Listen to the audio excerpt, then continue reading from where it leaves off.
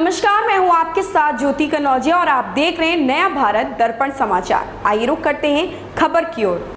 राष्ट्रपति चुनाव में एनडीए की उम्मीदवार द्रौपदी मुर्मू ने बड़ी जीत हासिल की है। आदिवासी जनजातीय गौरव, श्रीमती द्रौपदी मुर्मू भारत के पंद्रहवें राष्ट्रपति निर्वाचित हुई हैं, जिसके बाद रुदौली विधानसभा के नेवरा में भव्य कार्यक्रम का आयोजन किया गया। कार्यक्रम में बतौर मुख्य अतिथि रुदौली विधायक रामचंद्र यादव रहे।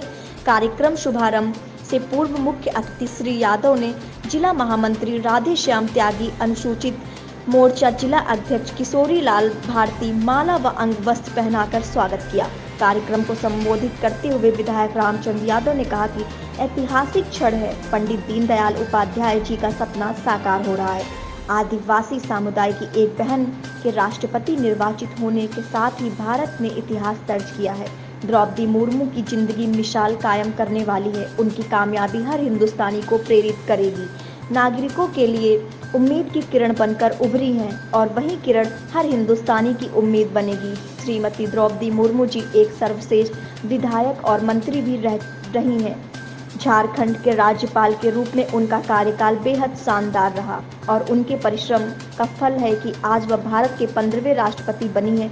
इस अवसर पर भाजपा नेता तेज तिवारी, निर्मल शर्मा, संतोष मिश्रा, सबीना खातून, राजेश यादव, विजय प्रकाश तिवारी, दीपक दुबे तारिक खान, अखिलेश रावत, पूजा कौशल, रामप्रेस यादव, मुकेश यादव, विपिन यादव सहित हज़ारों की संख्या में लोग उपस्थित रहे। ऐसी खबर से जुड़े रहने के लिए आप देखते रहिए नया भारत दर्पण समाचार।